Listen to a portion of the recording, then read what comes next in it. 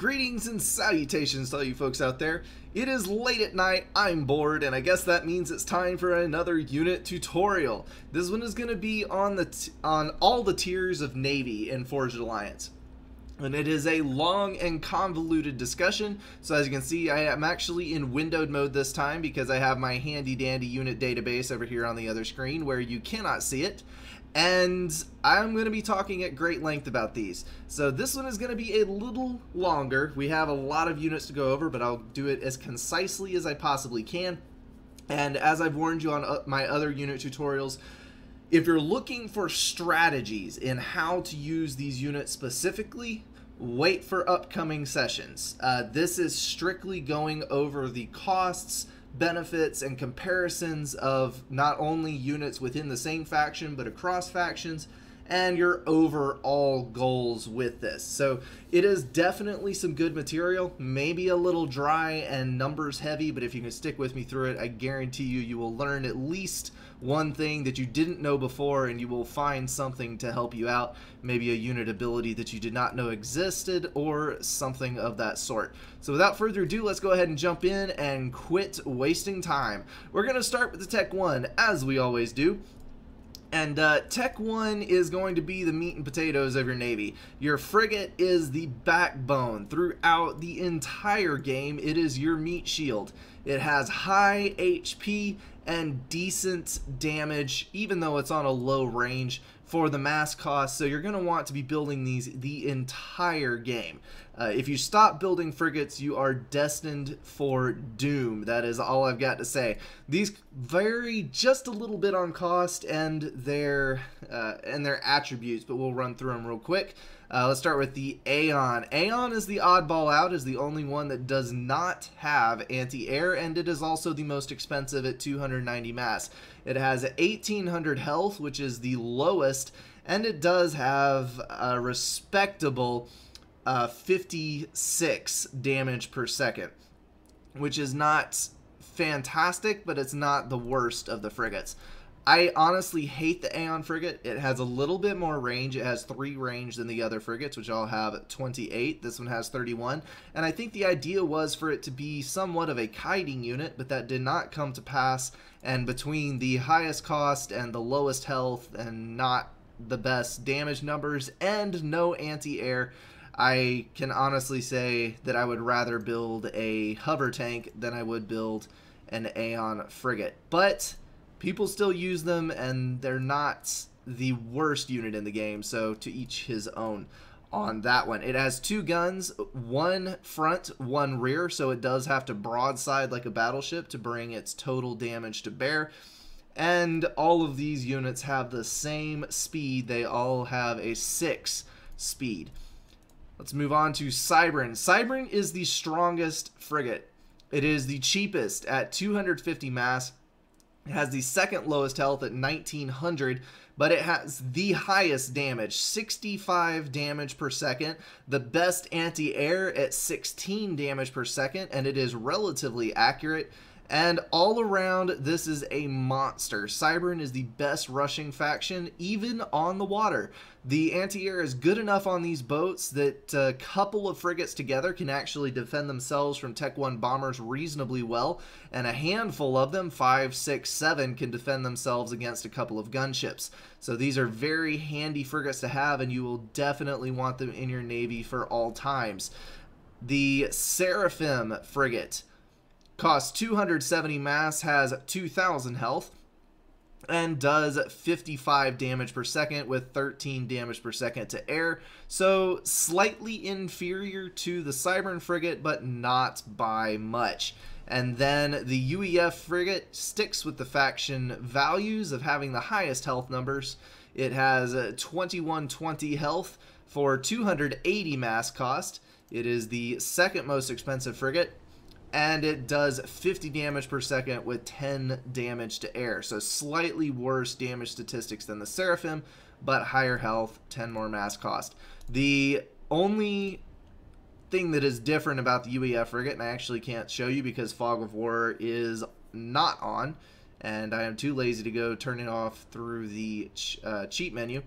Um, the Thunderhead has jamming which means that there's a bunch of fake radar blips floating around, which some of you may think is really stupid because uh, you, uh, unless you're against an opponent that is trying to kite you, honestly, jamming doesn't do a whole lot of good. What it does do, though, is any units that are trying to kite around the outside edge of your navy and fire in on you, if the enemy does not have good intel on your navy, they will waste tons of damage on false radar blips. It will fire torpedoes at blips where there is no unit. It will fire direct fire shots. It just wastes all of your opponent's stuff. So the jamming can actually be pretty good when you have a couple of these frigates in. And of course, like the other ones, you want to be building frigates the entire game because they are the backbone of your navy. Aeon, if you'll remember, I did mention that this has no anti-air. It does have an anti-torpedo projectile. It is the only frigate that does, and it fires once every 10 seconds, which honestly is pretty pitiful. That means that the Aeon has a dedicated anti-air boat called the Shard. It is the only faction that has one of these at T1, and this little boat is awesome. I don't know that I can justify having a separate unit for it, but just by itself it's pretty dang cool. Of course, it has no direct fire damage, but it has a 35 DPS anti-air cannon.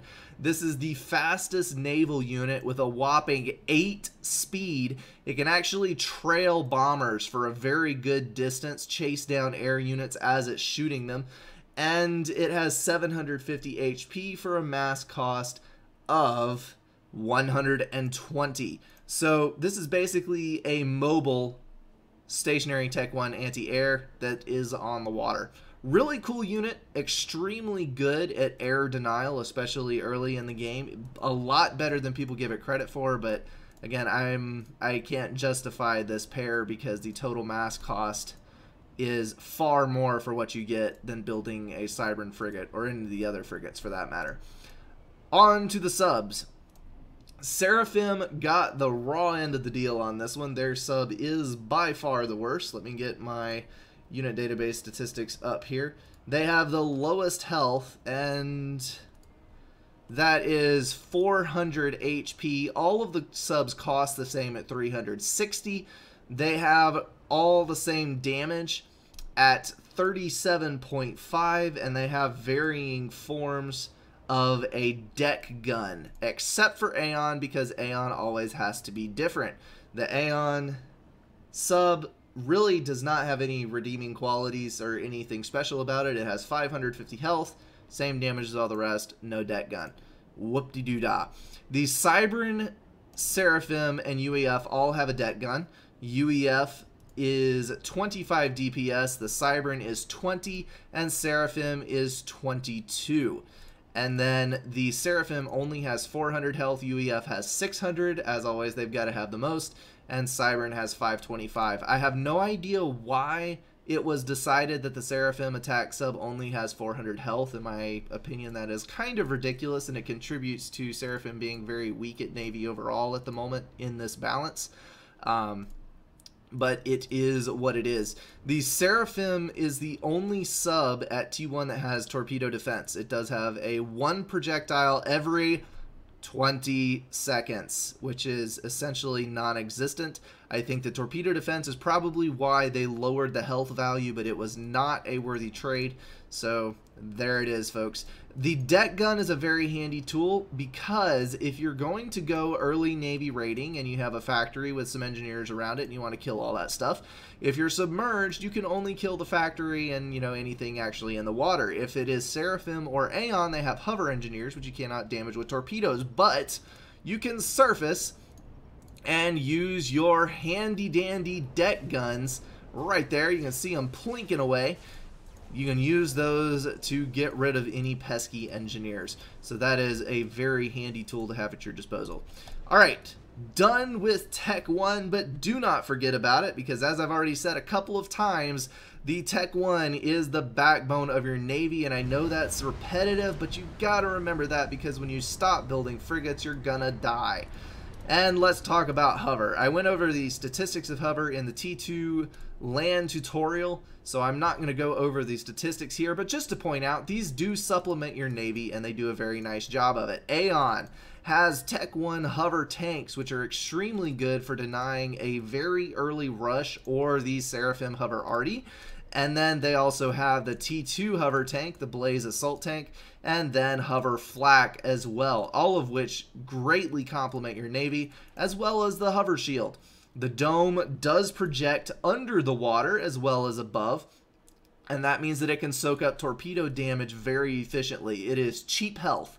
So you need to keep these with your Navy as much as possible, and it will help you out to great lengths.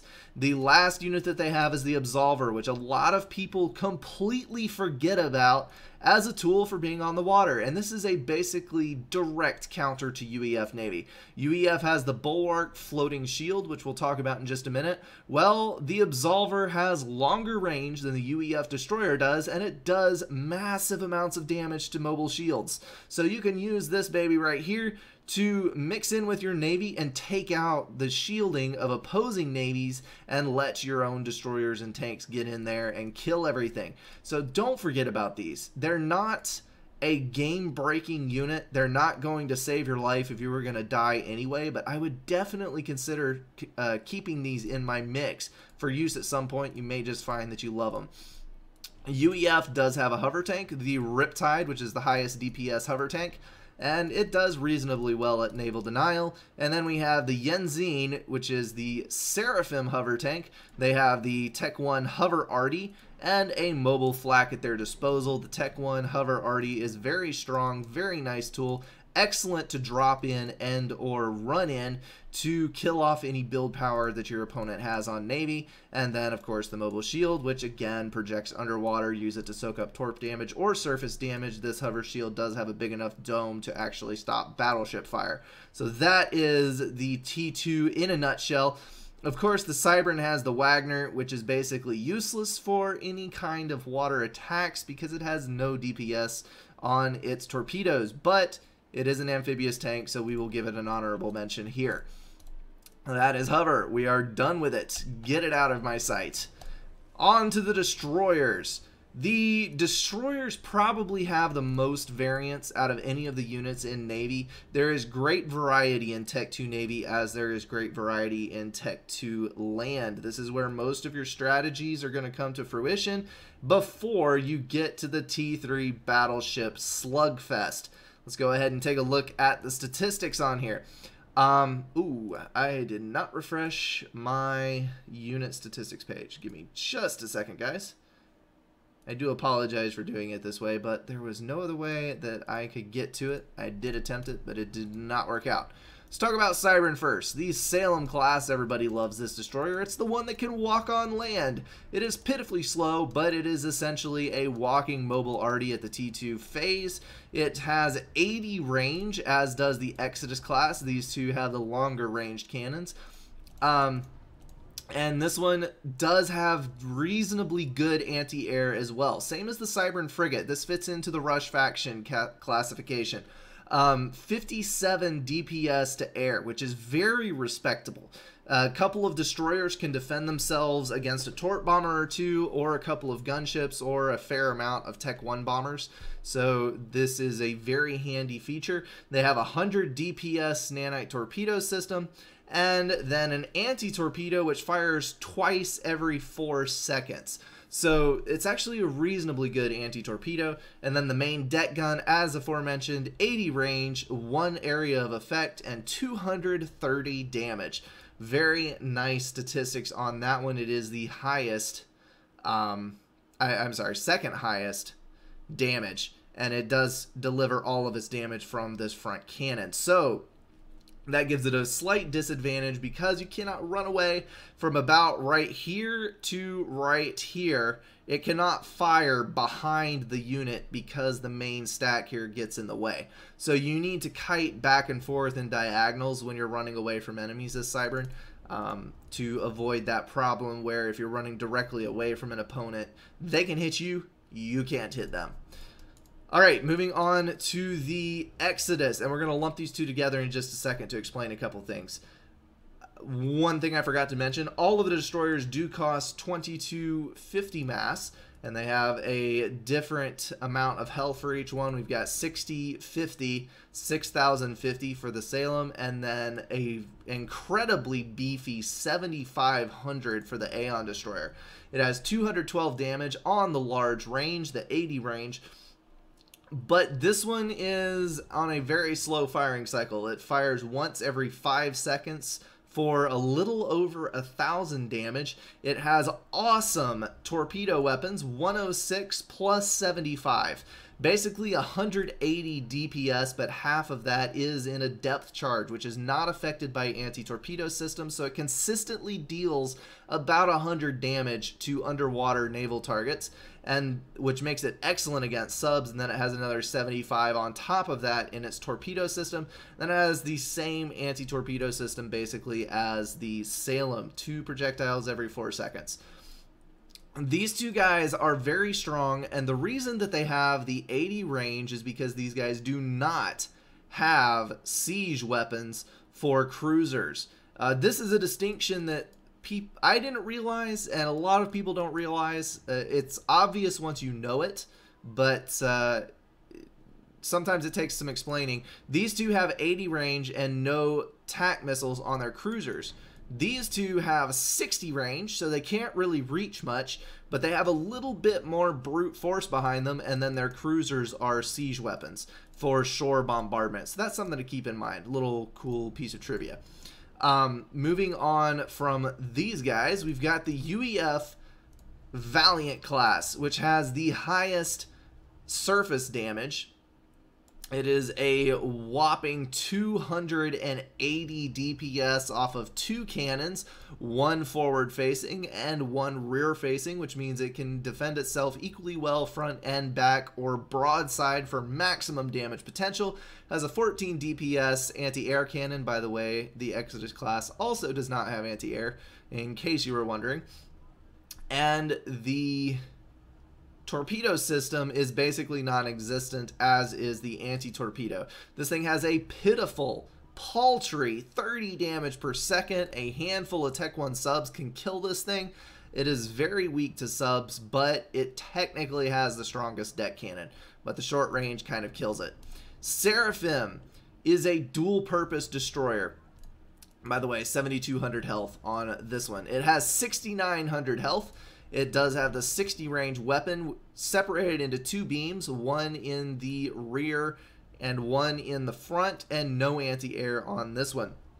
They total out to about 170 DPS, and then it packs in 160 damage per second for torpedoes, slightly behind the Exodus class. And then it does have a anti-torpedo defense, which fires one projectile every 3.8 seconds. Not the greatest, not the worst. And this one does submerge. It does not, Seraphim does not have a dedicated T2 torpedo uh, vessel. So this one serves a dual purpose. One good thing about this is that since it does have the 60 range, you can submerge close distance with another unit until you get inside their range so the fight is a little more even and then emerge. And then since it does use beam weapons which have good rotation speeds you can basically micro all you want with this unit without fear of slowing down your firing cycle or running into issues.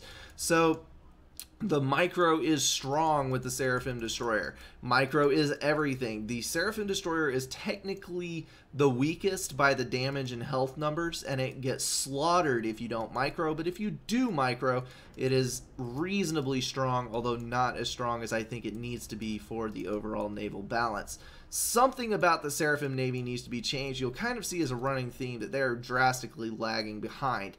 Um, they were oh, they were honestly overpowered for quite some time, and then they went through a series of nerfs on all tiers that was just horrendous, and now it is not good for the faction.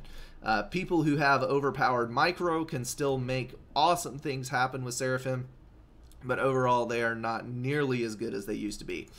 Um, the one last thing that I will say about these is that the Exodus and Salem, you do need to be careful. As aforementioned, the Salem does have the problem with not being able to fire directly behind it. The Exodus has the same problem. The cannon cannot fire behind the boat, not directly behind anyway. The other problem that these two share is with a combination of slow projectile speed and long range that they're firing over, these two units are pretty easy to dodge. You can see how long it takes those shots to fire you can effectively zigzag and turn circles and do whatever you want to do with a couple of boats, and it will confuse the ever-living hell out of these two destroyers. So you want to micro to beat these two. If you micro, you can beat them easily. Um, to counter the micro, you need more Salems, and you need to come to point blank range and bludgeon them to death with the Exodus.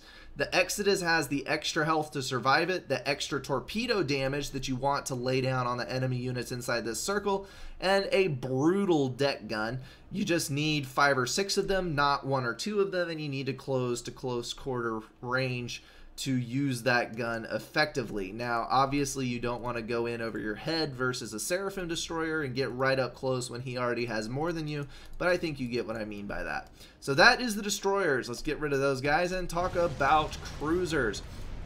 The Cybran Cruiser fits again into the whole mantra of being a rush faction. Cybran has the strongest T1 and arguably has one of, if not the strongest, Tech 2 strictly for rushing. The cruiser does not have a bombardment weapon.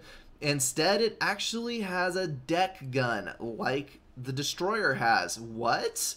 Yes, it can defend itself against hover reasonably well against Tech 1 Navy in most cases. It does a halfway decent job and it does have the same 80 range as the destroyer does. And i'm over here getting all of my stuff together on the cruisers while i'm talking.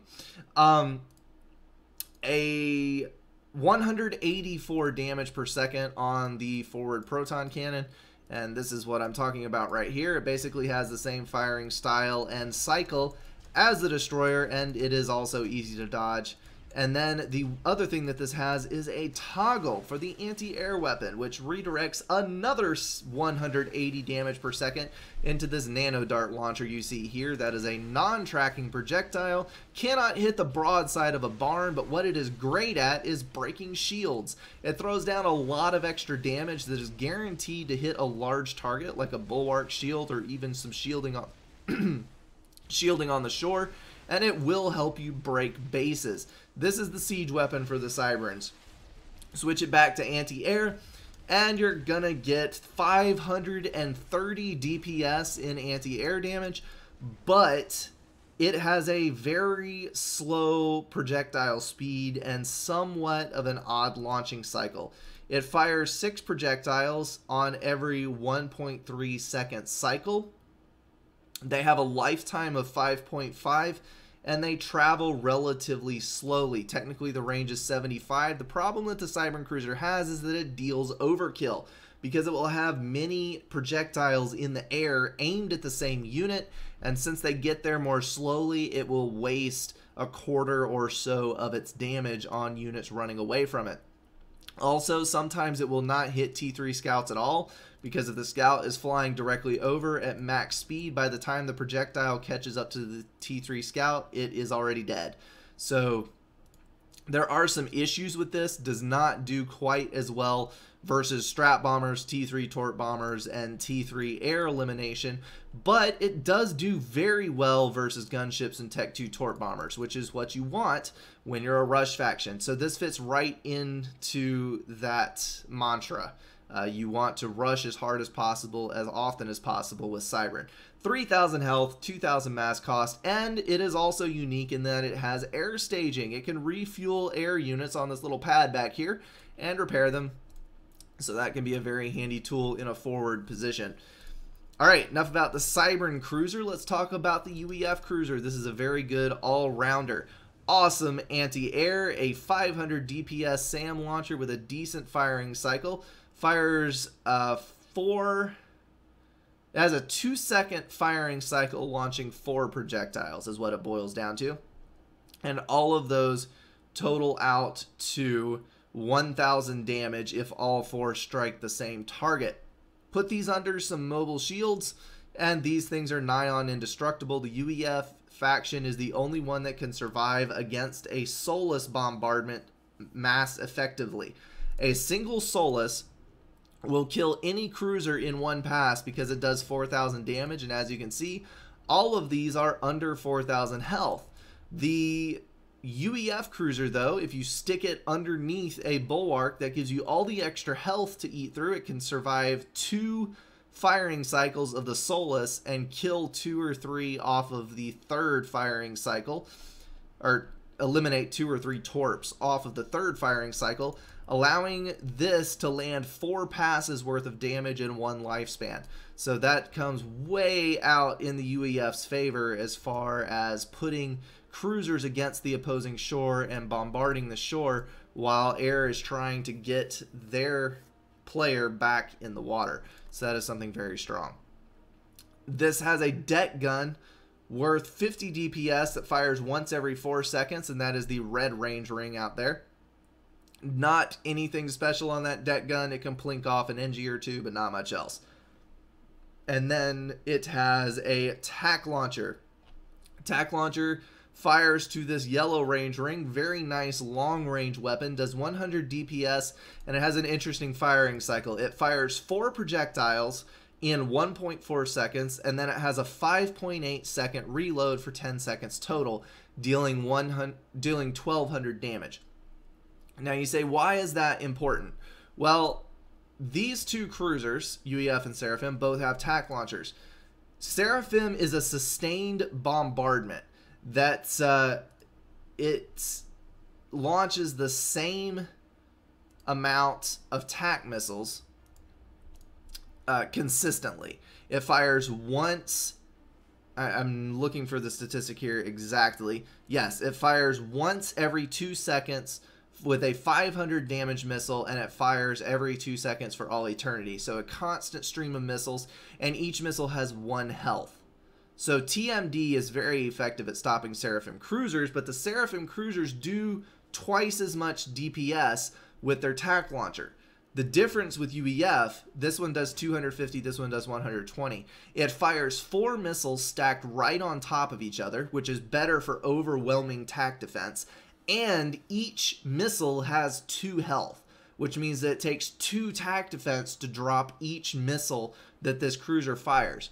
So you can have four TAC defense completely deny three Seraphim cruisers, and under a shield they can hold off four Seraphim cruisers for a while. It's basically one TMD to a cruiser and throw in a shield every once in a while. UEF, haha, four TMD will not even come close. Two UEF cruisers can easily overwhelm four TMD they just don't do as much damage once they break the TMD. So it's kind of two sides of the same coin. Do you want your higher DPS or do you want your ability to break uh, TMD? It's it's take your pick here. Back to the UEF cruiser to finish this discussion. 2500 health, as before mentioned, not enough to survive a Solace pass. And I think that's all I have to say about that one.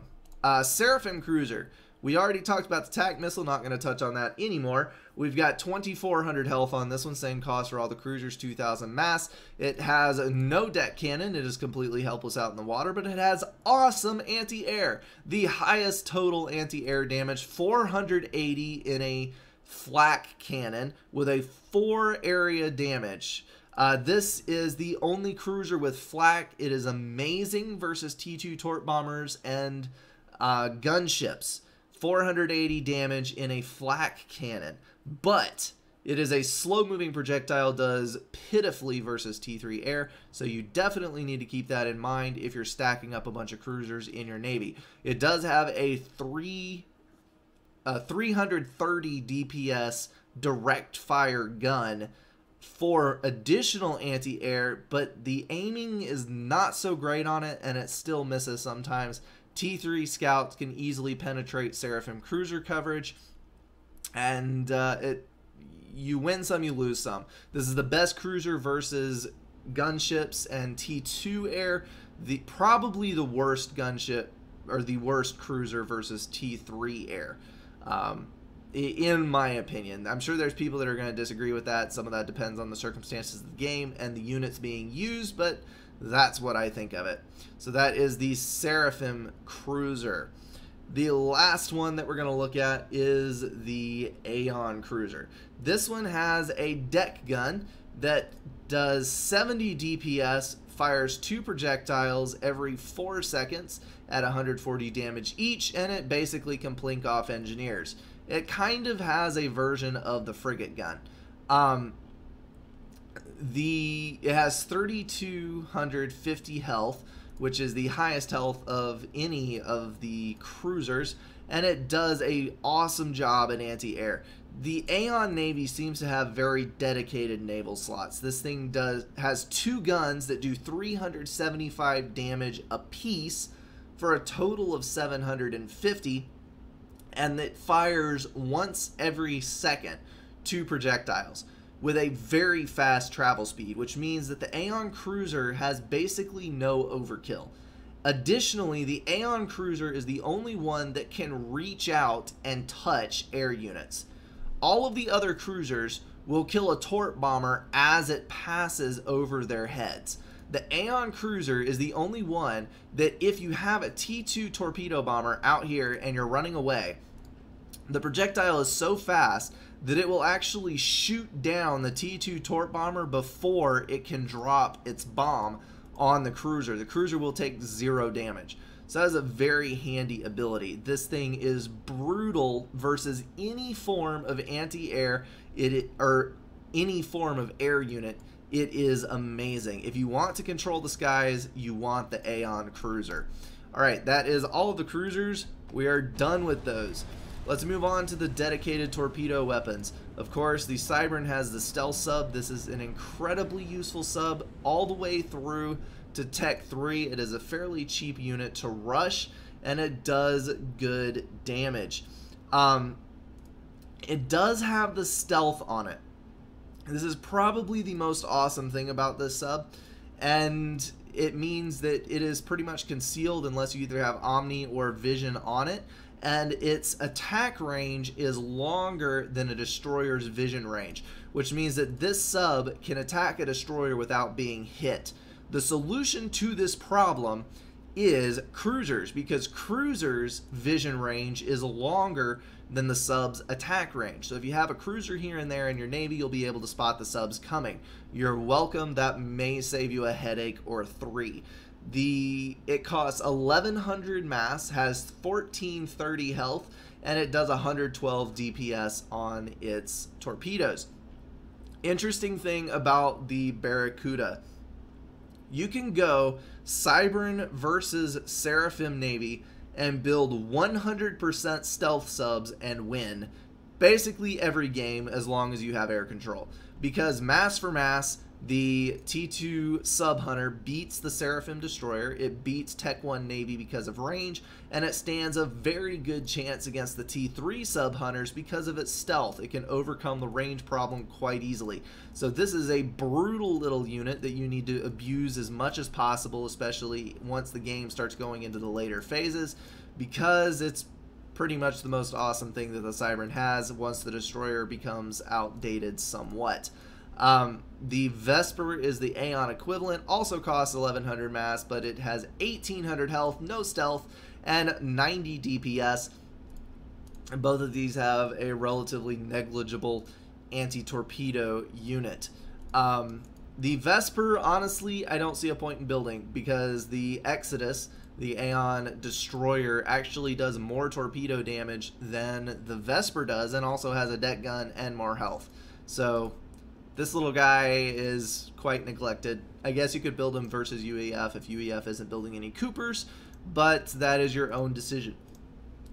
UEF is the oddball. They have the Cooper which is a surface unit that does the job of a dedicated torpedo unit. It has a whopping 97 DPS. It is the cheapest at 900 mass, 200 less than the subs, and it will always beat a sub, mostly because it basically fires an anti-torpedo projectile once per second. If you put about five of these under a shield, the anti-torpedo and the shield will basically completely negate a large amount of subs because all of the torpedoes will either be shot down or hit the shield and then the Cooper will use its brilliant damage to take out all of the subs. Coopers versus subs, the Coopers always win, shields or no, but the shields greatly help the situation. Um, Additionally, you need to stack a lot of these in the late game UEF Navy, especially paired with the Atlantis because the anti-torpedo on these boats makes them indispensable. Even if they're not dealing a ton of damage of their own, just the protection that they provide your Navy is amazing. They only have 1750 health, and this is actually a weak point and a strong point for the UEF Navy because Seraphim can shred Coopers pretty effectively. The problem with Coopers is that they're surface units that serve an anti-torpedo job, so if your opponent builds subs, you can pwn them. But if they have surface units and you mix too many Coopers into your Navy, you will get owned because they can reach out and kill all of your Coopers relatively easily and then you have nothing left. Um, the Additionally, the Seraphim Destroyer can emerge from the water zap all of the Coopers off with its direct fire weapons, and then once the UEF Navy has no more torpedo damage in the form of Coopers, it can submerge its destroyers and kill off the rest of your destroyers and other Navy with the torpedo weapons on the Seraphim Destroyer. So that's a pretty brutal combo move if you can get that pulled off effectively. So you need to watch for bulwarks. If there are, are not bulwarks, Coopers. If there are not Coopers nearby in a UEF Navy, go in with your subs and you will kill everything. If there are Coopers, go in with your direct fire weapons and you can kill all the Coopers and then there are no more Coopers. The Bulwark is the only thing protecting that. Let's talk about these special T2 units. These are pretty much exclusive to Cybran and UEF. Uh, the Bulwark is pretty self-explanatory. It is a big shield boat. It has a massive bubble size, although the bubble size is slightly deceptive.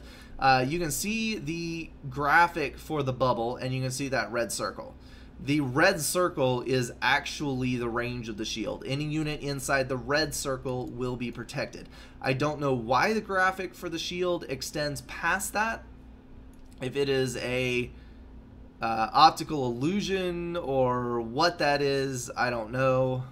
Actually, it looks like the dome projects under the water and the lip of the dome is the red ring. That's probably what that is. I just had an epiphany. Answered my own question because I got down and panned around on the camera. So you want units inside the red ring that you are going to protect. They have very low health. They're pretty fragile once the shield goes down, but they are very handy. You need to have them in your Navy because the UEF has the short range um, the short range destroyers and the shields are going to be what gives you the health needed to survive the push to get into range. They have 8,000 health apiece, they cost 1,300 mass, and they consume 150 power while they're running. Very handy unit.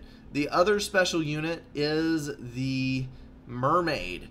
Now this is a drastically underutilized unit. I love this little boat because it provides stealth. Cybran is all about stealth. It lets you use the long 80 range of their destroyers to strike at other navies without ever coming within vision radius. You can do tons of damage before the enemy has realized what's happened.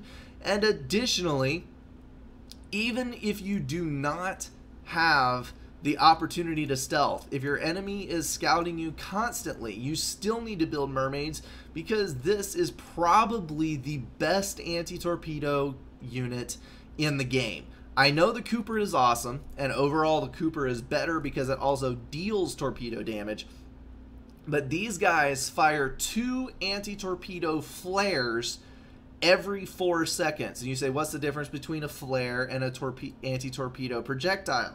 The projectile takes out a single torpedo. The flare lights up for a brief period of time and consumes all incoming torpedoes from that direction. I have seen an anti-torpedo flare from a mermaid hook 15 or so torpedoes at a time and they just go into a little death spiral around the flare until their fuel is consumed and they go away. A mermaid is extremely good at denying torpedo damage. horrendously amazing at it. Um, that's actually kind of a contradictory statement, but I'm going to pass over that. So that is the T2 special units there. All right, let's talk about T3. These are the aircraft carriers, and we're going to talk about these first because they are a cruiser substitute.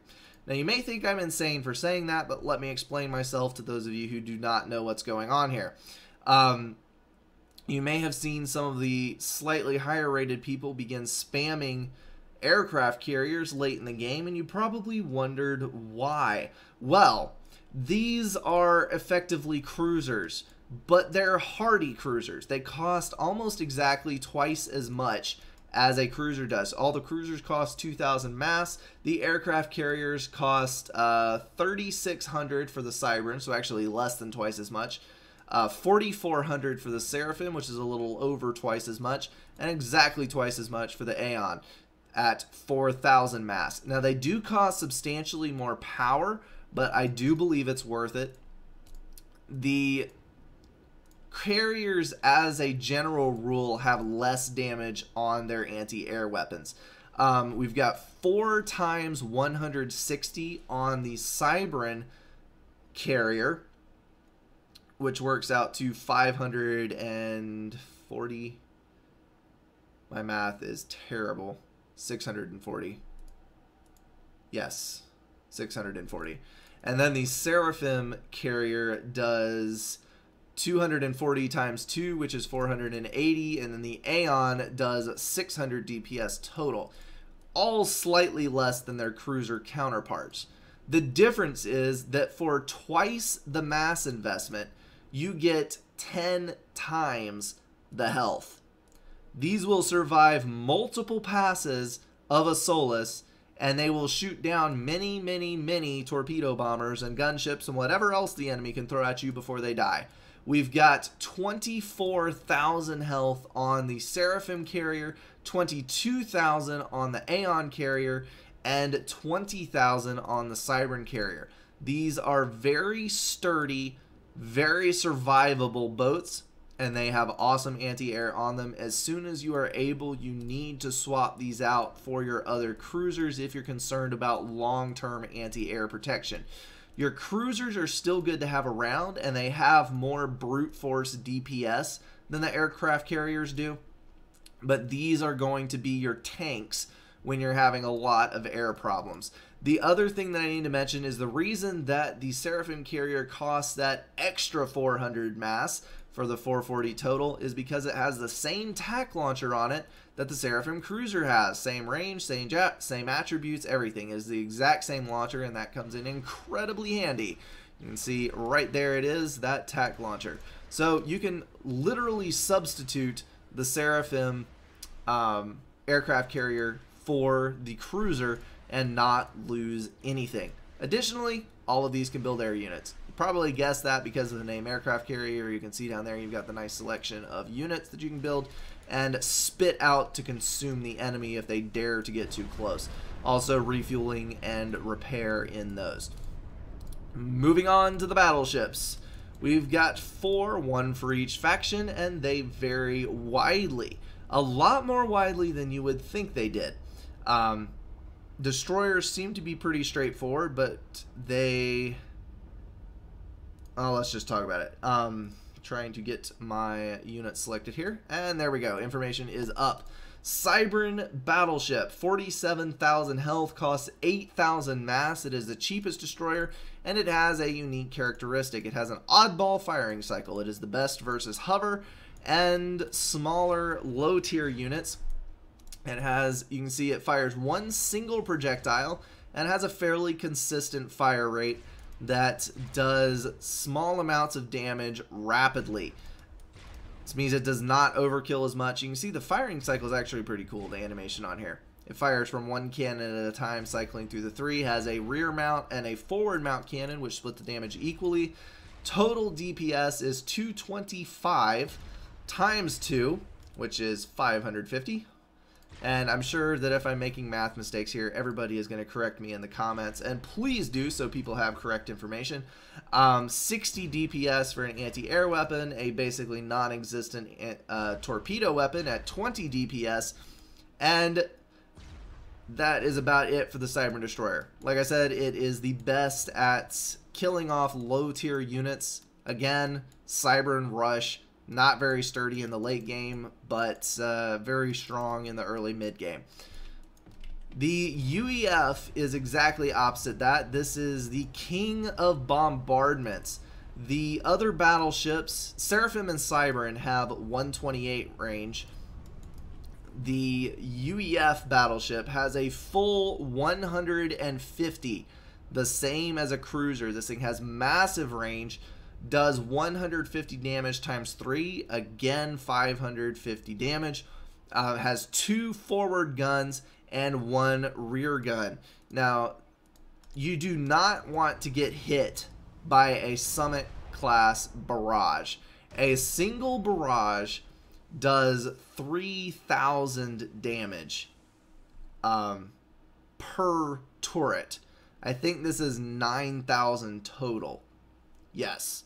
So 9,000 per firing cycle.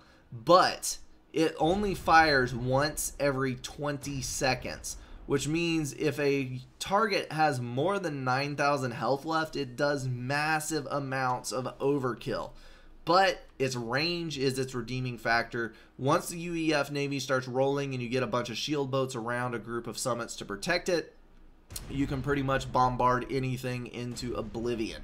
It does have 4 times 14 damage on its anti-air. None of the battleships really have significant anti-air, and no torpedo weapon.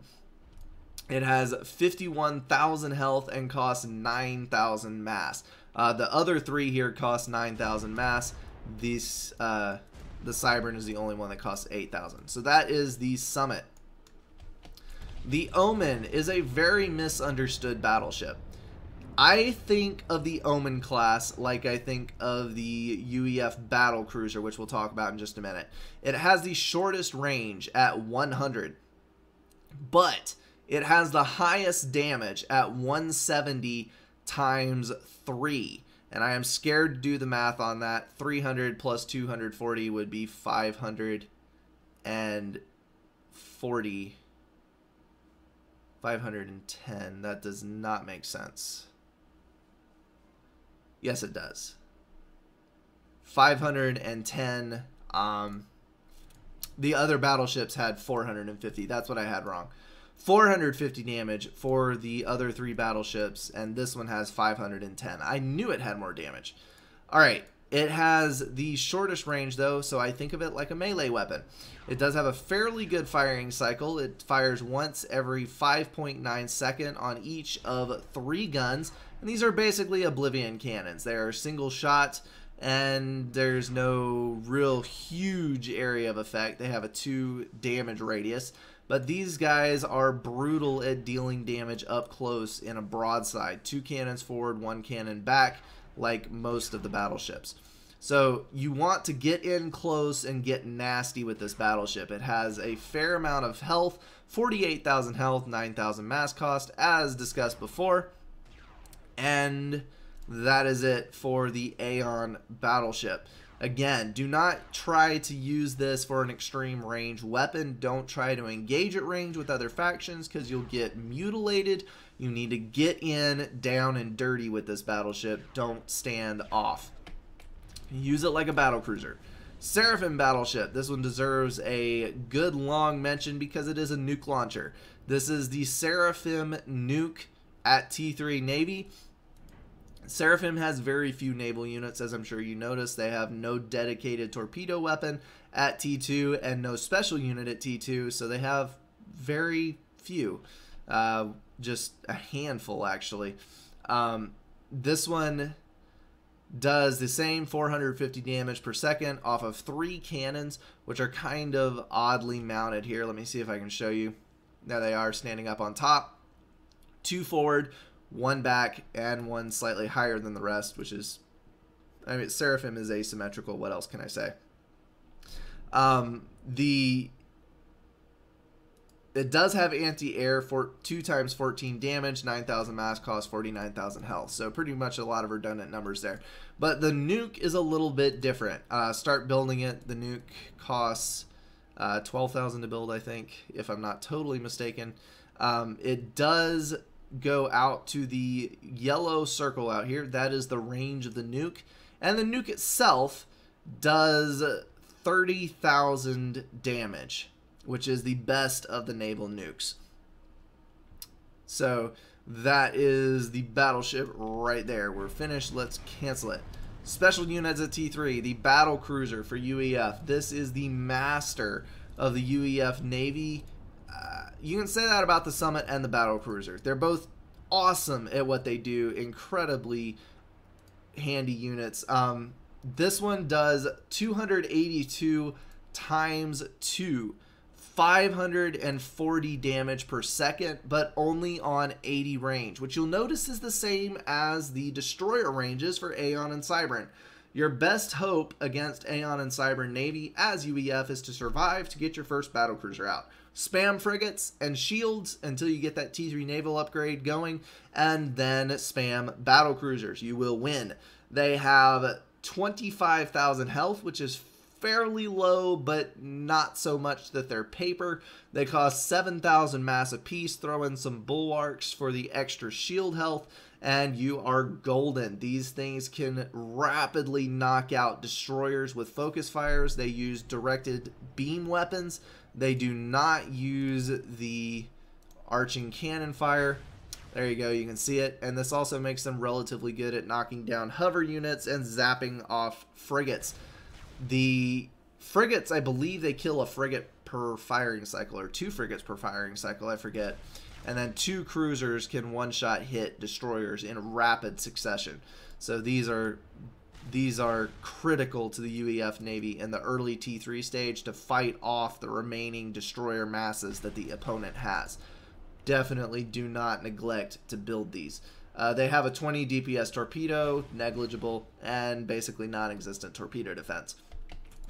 The Seraphim T3 sub is a specialized unit for Seraphim. It used to be the strongest of all of the naval units, I think, in my opinion. Maybe the Summit could be argued to be stronger, but in a totally different aspect. This is for naval control, the Summit was for bombardment.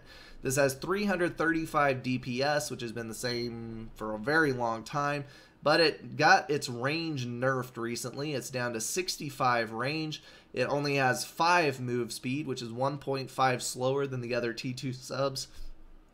And then it has 4,000 health, which is the change that I disagree with the most.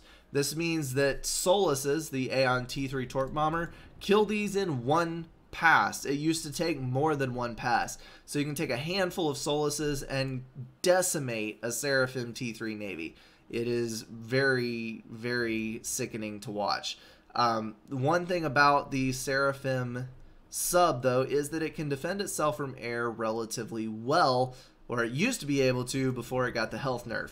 Um, 200 DPS on an anti-air cannon that has the large range out here. I don't think, uh, yeah, this one does not have a blue circle to let you know, but I believe the anti-air range is at least close to this outer green range out here. It's probably in between these two circles. Uh, range on the anti-air is 65. Yes, yeah, so it will be the outer green circle here. Alrighty, that wraps up those. Let's talk about strat subs. These are the nukes for the other three factions that are not Seraphim. Cybran is the oddball out once again on this one. Cybran is odd in a lot of situations. Uh, these subs cost 9,000 mass. And they actually have a pretty dang good torpedo weapon on them. Uh, it's 225 damage per second. They're the only ones that actually have a defense mechanism built into the sub. However, you do not want to build these as attack units because 9,000 or 10,000 mass. My bad, I did not have my information pulled up. 10,000 mass is way too much to pay for a unit that only has 3,500 health. Even if it does have 225 torpedo damage.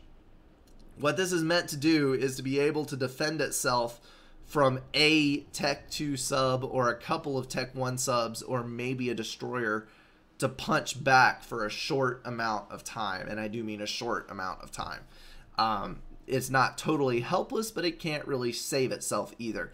It has a TAC launcher. Actually, let me lump all these together and say this is one because they're all basically the same in this aspect. Um, 10,000 mass because you have the torpedo weapon. These two are 9,000 mass and they are essentially the same. The nuke warhead on all of these does 25,000 damage total. The only difference in the Cybran one is that it's called the EMP Flux. I don't know that the EMP is actually that much different on this one than regular nukes. I'm not 100% sure on that. A naval nuke is a naval nuke for the most part. 25,000 damage, which is not that much, but it is good for laying down a large chunk of damage on an opposing navy, or even to hit a shore base with one of those.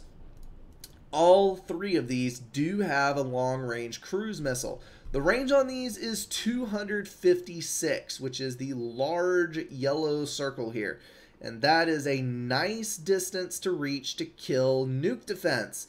I don't know why more people don't use this strategy, but if you get two or three nuke subs up and you load them up with nukes, you can march right over to their shoreline and proceed to obliterate their nuke defense with this handy dandy launcher. Um, let me see if I can get it launching here. There we go.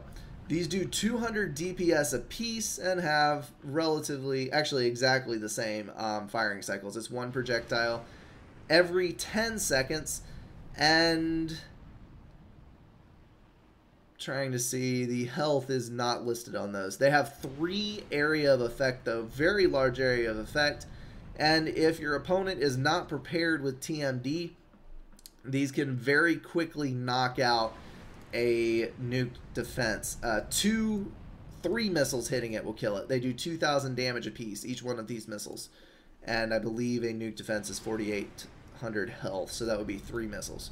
So just something to remember about these units. So that pretty much wraps those up. There is one unit that I did forget to put on the map, and I just realized it because I was talking about TAC missiles. Those of you who are wondering, Alt F2 does bring up the cheat menu, and that lets you choose anything that you want to create, and you just spawn it in. And this is what I was looking for. The missile ship. This is an Aeon toy that is unique to the faction. Um, it is a long range cruiser, essentially. This thing reaches out to 200 range with its TAC missiles, which is very, very handy. You can walk right up to the edge of the water and reach way across the map to kill stuff.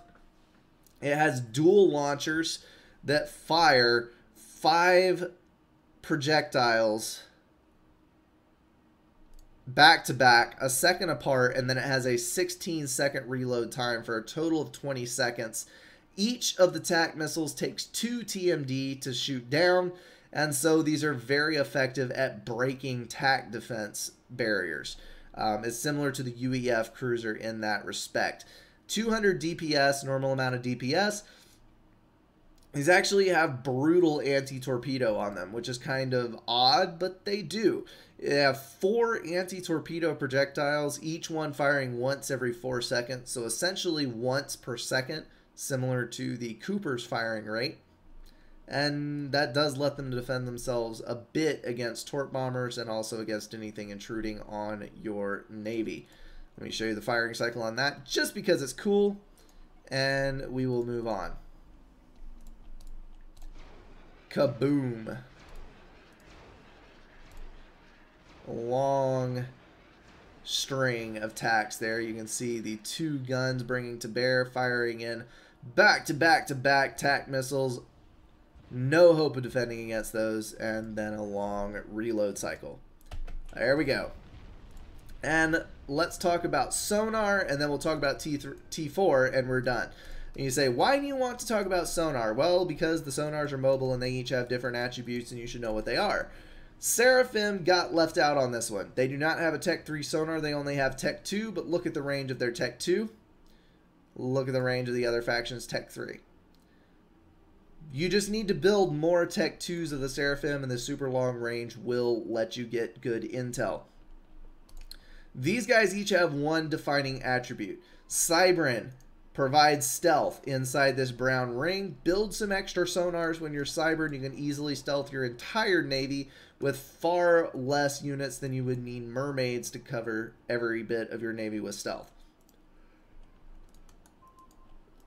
UEF has torpedoes.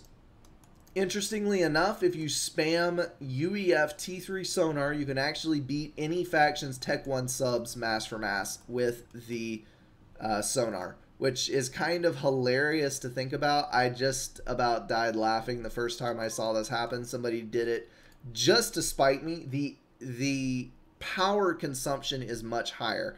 These cost a lot of power to build for an equivalent amount of torpedo damage, but the mass cost is less per torpedo damage than the T1 subs, and they have way more health. I'm trying to find the actual statistics on it so I can tell you and not lead you astray. There it is right there. Um, 37.5 damage per second. It has the same gun on it, the same torpedo launcher as the Tech 1 subs, but it has 2,000 health as opposed to 600, and it only costs 40 more mass. So these will win in a fight with the Tech 1 sub, mass for mass.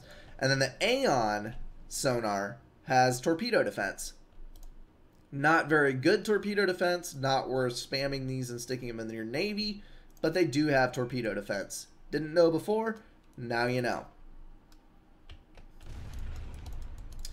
Alright, the T4, the stage that we've been waiting for.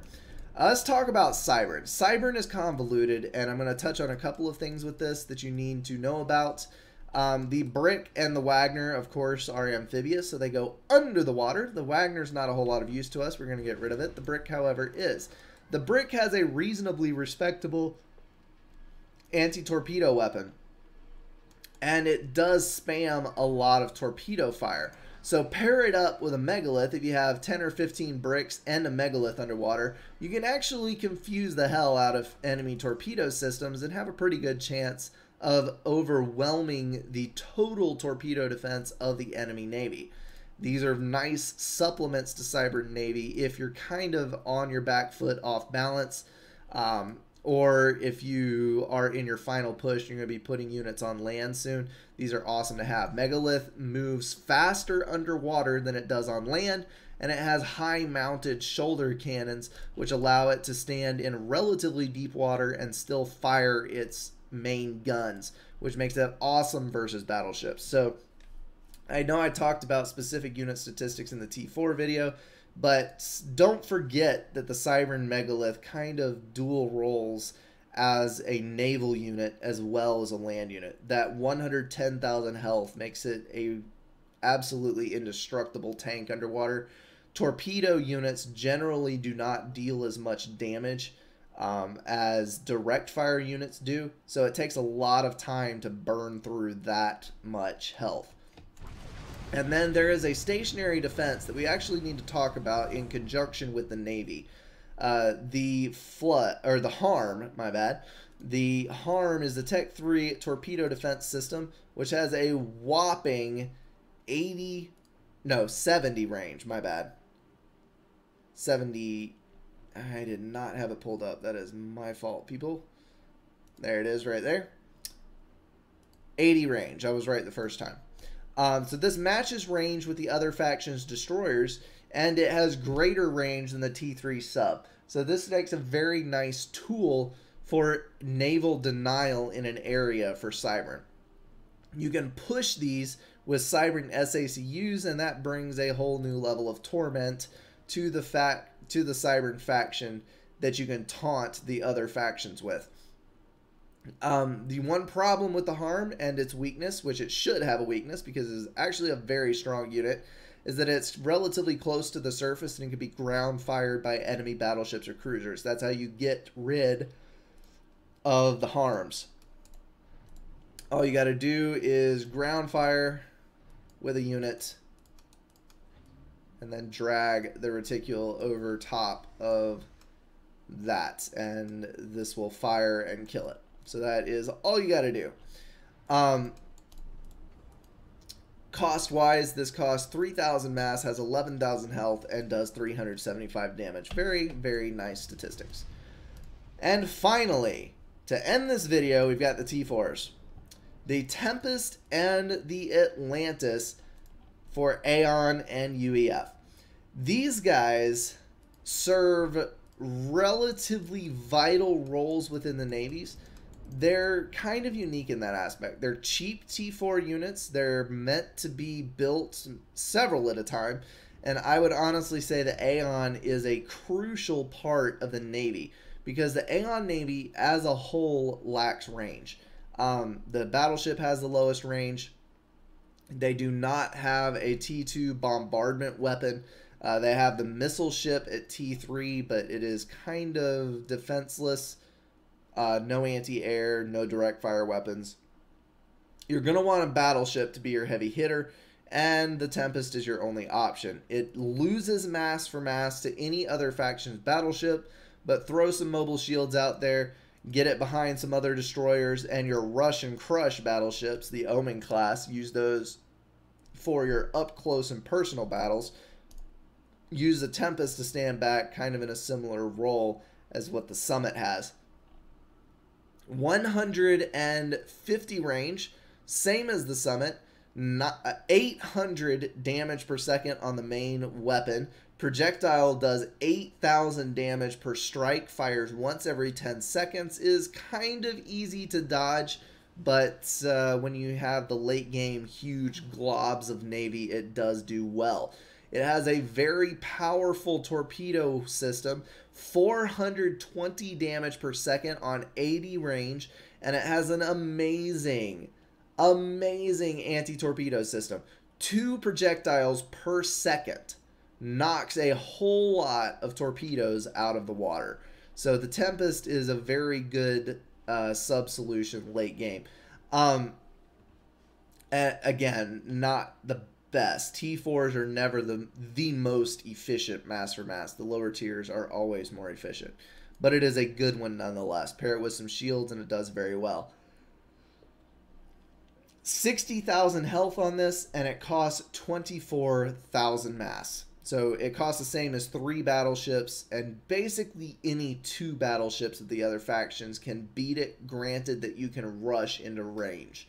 When you involve a bunch of other units in the mix, it becomes a lot more convoluted, and honestly, the Tempest does better in large groups, but that is just your mass for mass comparison because this is a comparison video. So let's get rid of this unit, and we will be done with it. The UEF Atlantis. This is an oddball. This is a carrier for the UEF. They do not have a T3 carrier. They have the T4 submersible carrier. Interesting little piece of trivia. The UEF gunship, you'll remember we talked about, has the docking clamp. It can pick up and carry a unit. So you can load tanks and flak into broadswords, load the broadswords into the Atlantis, drive the Atlantis across the ocean, and then bam, you have a dropship group. You can emerge from the Atlantis, drop the tanks on the shore, and then just run over everything kind of a funny tactic, not the most efficient one, but it is pretty fun to implement.